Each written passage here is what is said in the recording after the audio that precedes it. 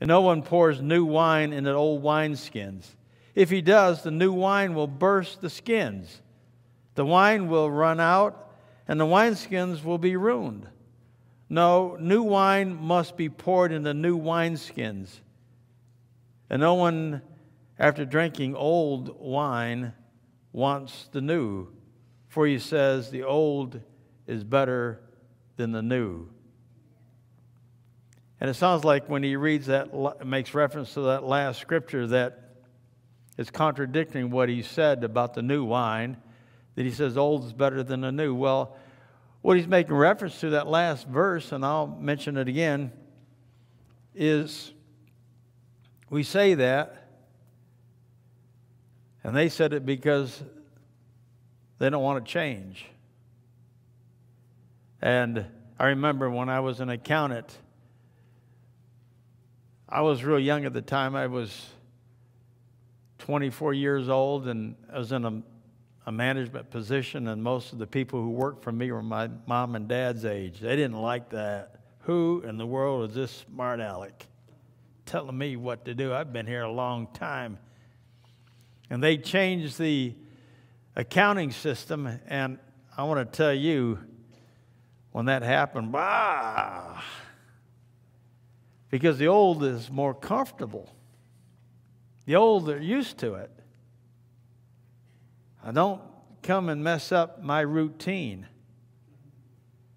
And that's just human nature. And Jesus, here, in looking in context, what he's saying was the religious people that day, Judaism, could not embrace the teachings of Christ and the kingdom that he was introducing. You can't pour new wine into an old wineskin, Judaism. And they questioned Jesus about, You are a Sabbath breaker. You're a blasphemer. You don't fast. You don't do all these traditional religious things. And things are changing in our world. And we need to flow with the Holy Spirit, make changes where God is moving on and moving forward. Now, what we don't change is we don't change the truth of God's Word. We don't change the preaching of the gospel. We don't change the convictions of God's Word. We hold fast to the truth. And nowadays, with this postmodern thinking, they question what is truth. And they say truth is subjective. It's what I decide what is truth. And there's a lack of trust in anything of the past as far as our institutions, as far as this book, which is outdated and not relevant today. And we know that Jesus is the truth. Amen? He is the Word. This is the truth. We need absolutes that we can have foundations and that we can say, okay, this is the truth, and this helps me determine what my moral compass is.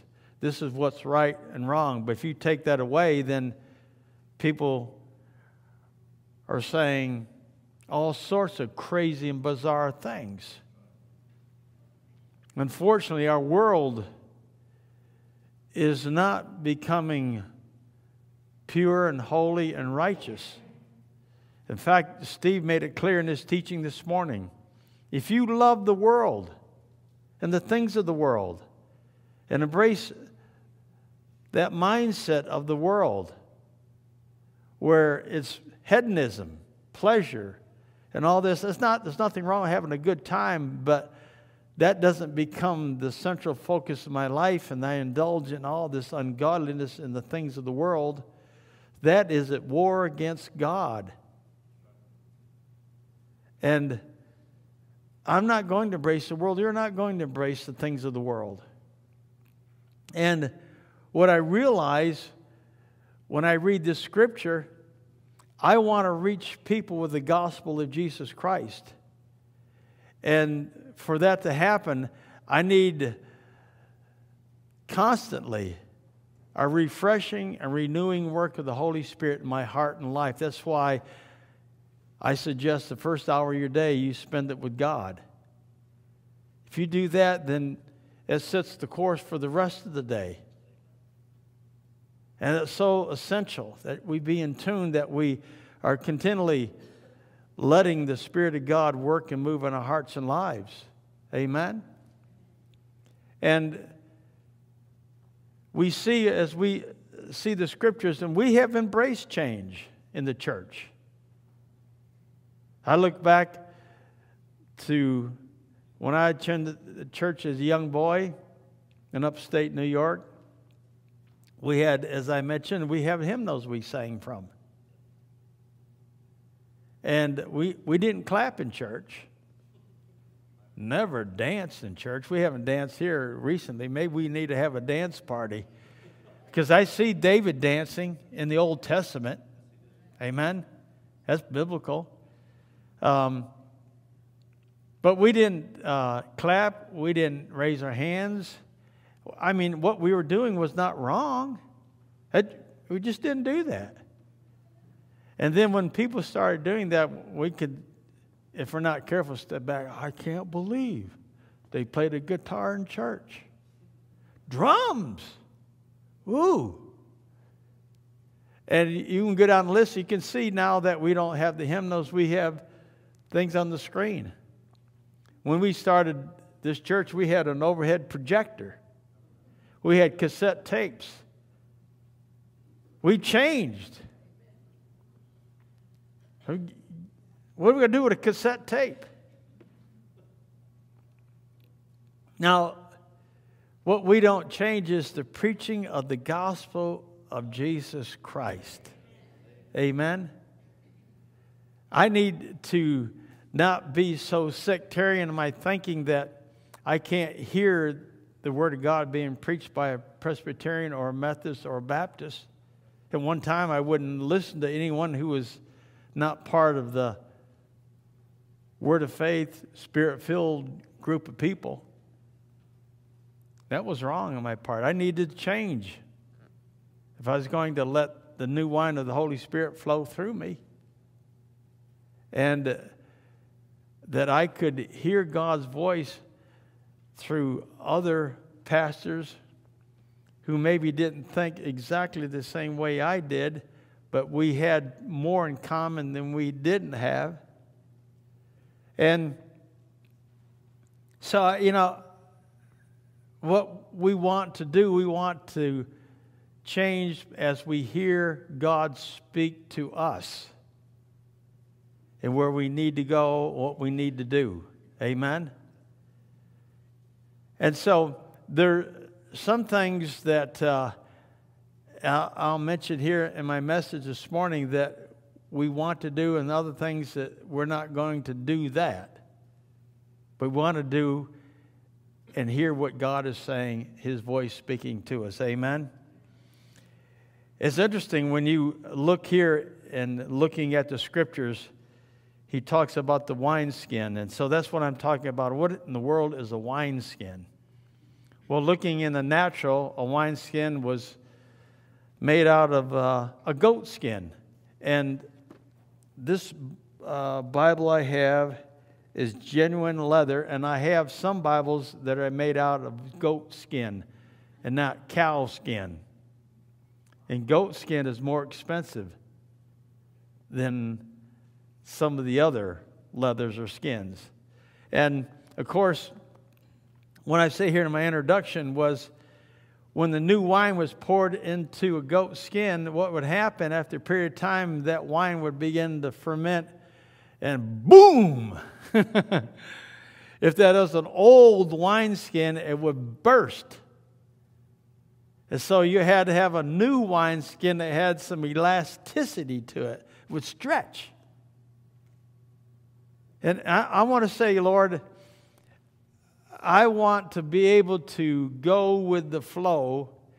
And as you work in my hearts and lives, and some of the things I thought maybe I had figured out on my eschatology or my so called biblical exegesis. And I was so dogmatic, I had it down, and this is the way God's going to do it. And He comes and shows me a new revelation, new understanding. So I've got to change to embrace what God is saying and doing. Amen?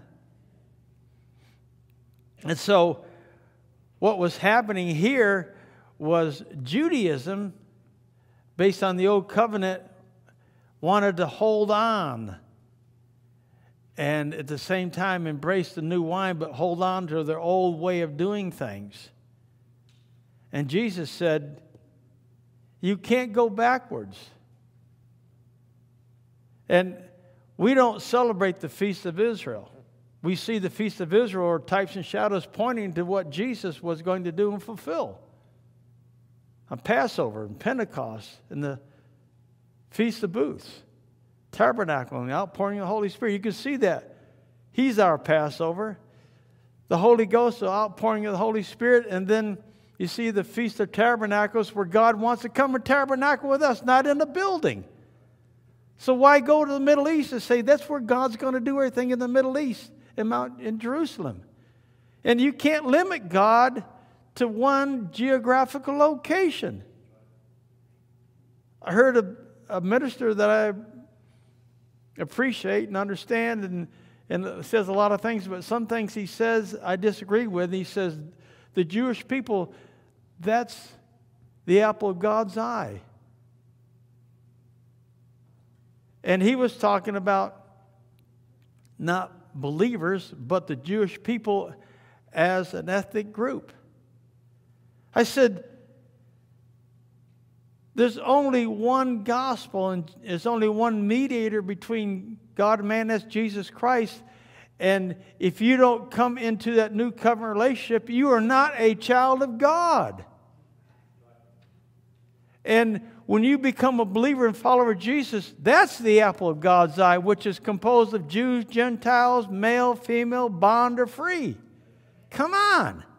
Don't go back and try to put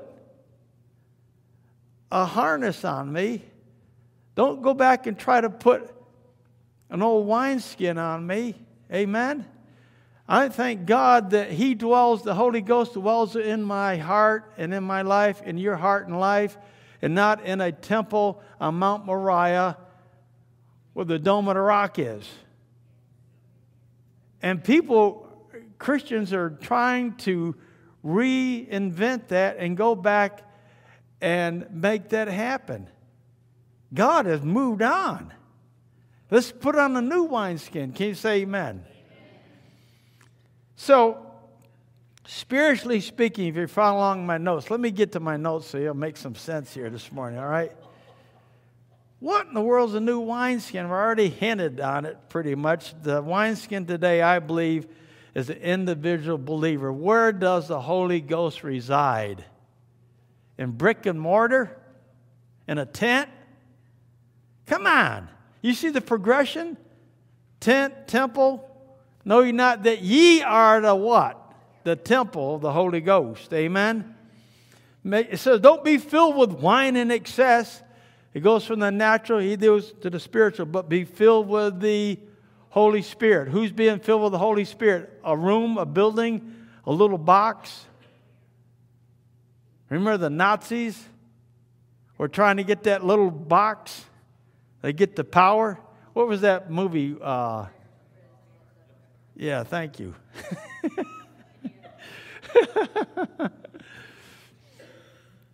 now, listen, every generation, if you're filling in the blanks, needs a fresh move and infilling of the Holy Spirit. Amen? We cannot fit the freedom and calling of Jesus in the old patterns and institutions. We don't want to miss the move of the Spirit, do we? And that's what's needed right now in America. That's what's needed in the world. I think back in the 1960s and 70s, 1971, as a sovereign move of God, I was baptized in the Holy Spirit and did something that I was taught was not of God, it was of the devil. I spoke in tongues. what? I spoke in tongues. I went to a seminary where that was not taught.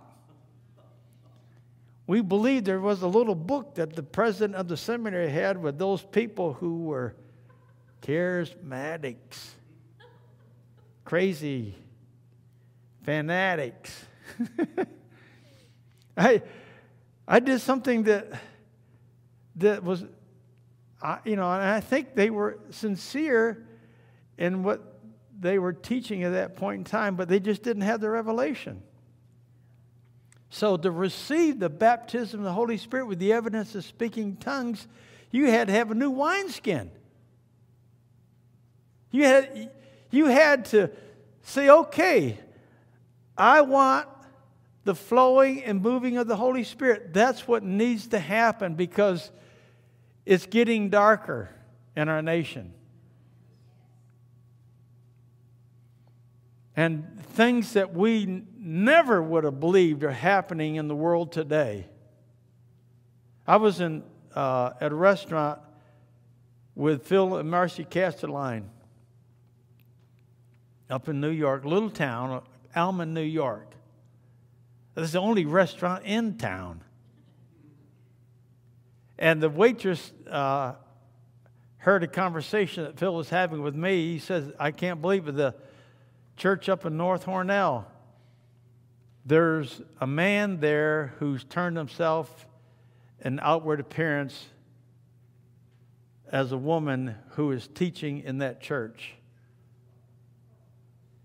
And Phil said, That's against the law of God. And the waitress said, That person's a fine person and just going based on their feelings. And I said, doesn't matter what they feel, you cannot change your DNA. You can't. I said, that is an affront to God because God said He made male and He made female, and when they come together comes the seed of life. And the first commandment God gave was to multiply and replenish the earth. And so, what we're saying to God, I don't like what you're doing, so I could become a God unto myself. And I'm going to determine what I want to be based on my feelings. I didn't say this, but I thought, well, I feel like a dog. you know, but I mean, you, you don't walk by feelings. Come on. Isn't it the lot? What is, that is irrational thinking. And I mean, I wasn't trying to be ugly to the girl, but maybe a little shock treatment. Do you see what's happening in our world? What's going to what's to bring about a new wineskin? Amen. Uh, we need a move of the Holy Ghost to bring a change and transformation. It's not going to happen politically. Here, a lot of people put a lot of faith in politics. I mean, you, you can turn on in the news stations and hear what they're saying and what they're doing, and all the hate and the inimical words that come out of their mouth. And the, I mean, it's, it's, and there's also in the last days it talks about young people and, and older people come against all authority. There's no respect for authority. And you read Romans 13 says what? All authorities of God. It's against God. Where they don't respect policemen, they don't respect people in authority in government or whatever. It, you know, I might not like everything that my senator or congressman says or does, but God's word says to me for me to pray for them. Amen? Now, here's something real careful I want to say. We must be careful not to become so relevant with the culture that we become irrelevant in embracing the presence of God. Now, I have some dear pastor friends who are trying to be relevant with the culture. And so, what they've done instead of having, I would say, a worship service, it's more entertainment and a festival. There's nothing wrong with having good Christian entertainment. Amen? Nothing wrong with that. But a worship service is where you come, where Jesus comes and takes you by the hand and brings you into the presence of the Father. It's intimacy. It's not praise, praise, praise God for that, but it's more of an intimate. And you can be intimate with God. You don't have to have the things of the world to be an, an attraction and have a theater atmosphere where everything is dark, where you have lights and smoke, and you're trying to copy a part of our culture and make it like a Christian rock concert. I can't do that. Maybe I'm wrong, but I just can't do that. You know where one of the most intimate relationships, and I saw the power of God move in a awesome way, was at a place that you would never have thought that God would enter into. It was back in the 1980s. I was with some other pastor friends and a whole group of others from different parts of the country, and we were protesting abortion, thrown in jail. In Fulton County Jail. And we started worshiping God. And you had Presbyterians, Nazarenes, Methodists, Catholics, Charismatics, everything you could think of. And we started worshiping God and lifting our hands to the Lord, and the Holy Ghost came four hours in a jail with no air conditioning, no lights, no smoke, no instruments, and Jesus came. I mean, that was awesome. I've been in a cold, cold place in the Ukraine where 300 people packed in the building, half the size, with one little wood stove in there. There, four hours. And the Holy Ghost came. Didn't have heat. There were only two cars in the parking lot. Everyone walked there, and the snow was a foot and a half deep. And the Holy Ghost came. You don't need to think, well, we've got to do this and that in order to get people to come into our building. You know what we need in every worship service is the presence of God. And you know, we, we, to do that, we prepare ourselves we come and we're going to give everything we have to honor and glorify Him. That's what we need. We need the presence of God in our worship services, when we go here or there, or we meet people and encounter people, that we are sensitive to the Spirit of God. I say, Lord, you know, I need to change so I can embrace your holy presence. I need to prepare myself. I need to sing the song of the Lord throughout the week. I, I, I need to say, Lord God, extend me, stretch me. Amen. Now, something interesting. Jesus is the one who sent the new wine, the outpouring of the Holy Spirit. So, to me, the definition of the new wine is, a, is the outpouring of the Holy Spirit, the life of Christ. Amen? The Holy Spirit is the one who brings conviction of sin and leads us to salvation, healing, and deliverance through Jesus. You can't heal anyone. I can't save, deliver, whatever. Amen? And then uh, in John 15, 5, one of my favorite scriptures, it tells us very clearly without the empowering presence of God, we can do nothing. Amen. We need the Spirit of God to flow in and through us each and every day. Now, sometimes when the Spirit of God comes, it does things that are seemingly illogical and bizarre to us. I think when I was in seminary, a doctoral student, a friend of mine, is I can't Ron Guy, that was his name. I can use his name because you don't know who he is. He was a good Baptist preacher. And he said, You irritate me with this speaking in tongues. He says, It's an insult to the intellect integrity of the believer. And I said, Praise God, that's a good explanation. It's illogical, irrational, doesn't make sense. Sounds like a barbarian.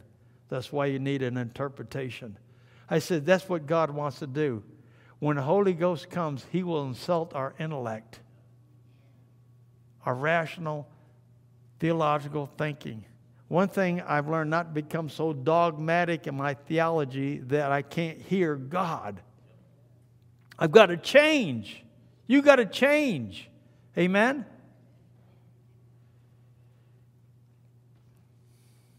See, God's given us a mandate, and He wants us to be consistent. He wants us to say what we believe, what we proclaim, we live it. Are we spirit filled believers? What we say, we need to live it.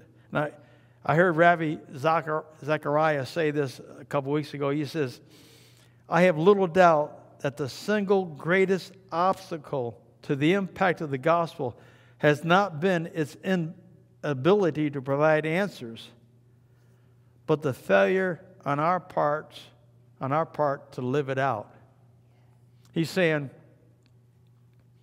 it's not that we don't have the answers. Here's the way of salvation. Here's the truth of the gospel. He says the biggest problem is Christians living it out. Uh, here's an interesting quote by this guy named Rodney Gypsy Smith, a British evangelist. He said, There are five gospels Matthew, Mark, Luke, and John, and then the fifth one, the Christian. Most people will never read the first four, but they'll read the last one.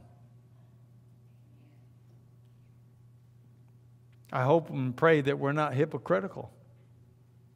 I hope what we, what we are proclaiming, what we believe, what we say, that there's evidence in our life that we are a follower of Jesus Christ. Amen? Now, at the same time, be wise as a serpent and harmless as a dove. I learned sometimes that some people are not really being honest and sincere in their conversation with me, so I'm not going to cast my pearl before swine.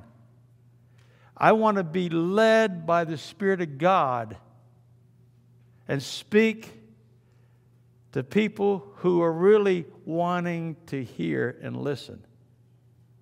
Now, when you speak to a large crowd of people, you can't discern what everyone's saying, but you're, sit, you're casting that seed out, and you pray to God that that seed will grab a hold. It's like when Brenda was referring to Wayne this morning. I went down to Emory Hospital. I remember that day. I'm driving down there to go pray for her. And the Lord speaks to me and says something to me that's not logical. Do not offend anybody. The audacity to say, Pastor Baker, to Wayne, you need Jesus. What? So I'm going down, then the Lord says, You're going down there to see Wayne, not Brenda. No, the plan, God, now listen, the plan is to go down there to get her out of Emory to save Wayne's wallet. And the Lord says, No, you go down there and you are to confront him with the gospel. I said, Well, what if that turns him off? Instead of him coming towards God, he's offended by me challenging his spirituality and pushing him away from God? You see, when you walk by faith, you don't have all the answers. You don't know what's going to be the response. You have to trust and obey, for there's no other way but to be holy in Jesus as I make up my words. Doesn't that sound good? I'm leading worship next Sunday. Hallelujah. Change. Change is coming. Come on, you know. oh dear. So, so When I get there, and I just turned to Wayne and said, I'm concerned about Brenda, but the Lord has asked me to challenge you this morning. And I spoke directly to him. He didn't resist, he was open. God got his attention when he was desperate and he was fearful of losing his wife, but more so losing his life, and he didn't even know it. And we're going to lose our spouse one day, but I pray we'll never reject God and lose our life. Amen? Now, one day, Brenda and Wayne will pass away, but because they know Jesus, they'll be together in eternity.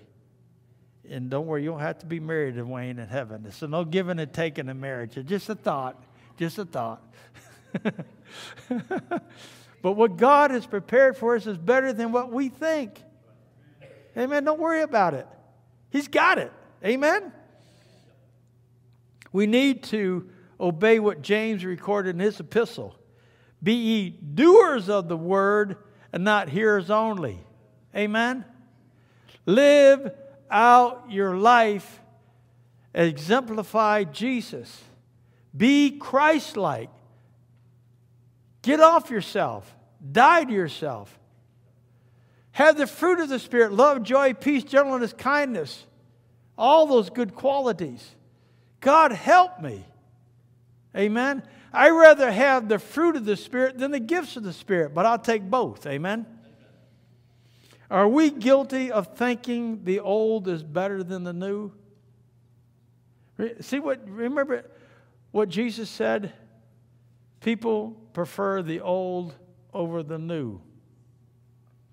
And the reason why is because we've gotten comfortable with the old wineskin. We, we got used to it. We got used to it. One thing I pray, God, send me into the world. I'm not of the world, but send me into the world. Uh, uh, I found interesting a, new form of evangelism. I mentioned this morning selling vegetables out front. The pastor, the baker, I mean, the pastor of the church, you're out there selling. What is that? Is not, you should be, that's, a, that's below you. What are you doing selling vegetables? What are you, poor, broke, dumb? Please buy these tomatoes. You're a Thai, you're a lot of you know, about, about, about that. You know, I, as a pastor, God's called me to be a servant. Amen. Now, who you think has done the most work in the garden out there? The youth or me? The youth, right. You know, where's my help? You know, oh, poor me, you know. I love serving an opportunity to be a blessing. Amen.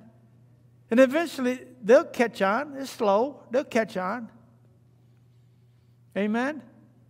And so you, you think, well, you're doing this, but then God says, no, He puts you right there, and you can't believe the conversations that I've had with people. I, I mean, and I said, I never thought about this. Never had this idea. And guess what? Camp next year, the parents and the grandparents will not pay for it. The community's paying for it. Amen. A new way. We're sucking money out of the community. Hallelujah. One of our best tithers in the church, the cell tower never gives me any complaints. Faithful, consistent. Where's the money in the first day of the month? That money is there. Hallelujah. Glory to God. Amen. That's different. Amen. We're in business here. Hallelujah. Our human nature is reluctant to change. We enjoy being comfortable. So do we need a new wineskin? Do you need a new wineskin? Are you willing to let go of the past? Of some of the ways we do things? Now, you heard me last Sunday say we're going to make some changes, and we are. But it's a gradual change. A big ship doesn't make a turn instantaneously like a speedboat. It takes a little bit while for it to turn. So I'm doing things covertly, gradually. But I assure you, we will not move away from this book. Amen? Will not move away from this book. If we do, we cease being the body of Christ. So, there's a scripture, 2 Corinthians chapter 3, verse 17 and 18. God is in the process of transforming us unto his likeness from one level of glory unto another. So, for that to happen, we got to be open to a fresh move of the Holy Spirit. Amen? You know what's going to attract people? Is they sense the presence of God, see the power and glory of Jesus. We need that in this house, the house down the road, the one down the road, across the way, here, there. Amen? If you would please stand.